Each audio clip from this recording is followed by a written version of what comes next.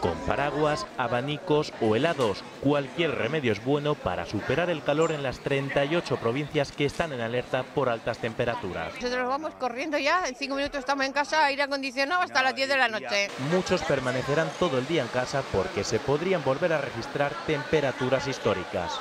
En Girona, en las últimas horas los termómetros han rozado los 44 grados. Nunca desde que hay registros había hecho tanto calor en esta ciudad catalana. Tampoco en Lleida habían soportado un calor semejante, allí se han superado los 43 grados. El mercurio también se ha disparado en Zaragoza durante días. Insoportable, agobiante. Calor tipo el del Sáhara, mucho calor, que te agobias.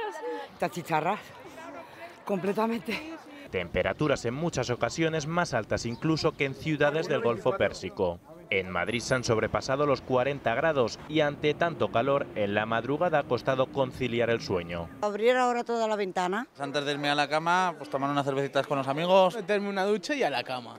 Y todavía quedan días complicados porque esta ola de calor nos acompañará hasta el próximo lunes.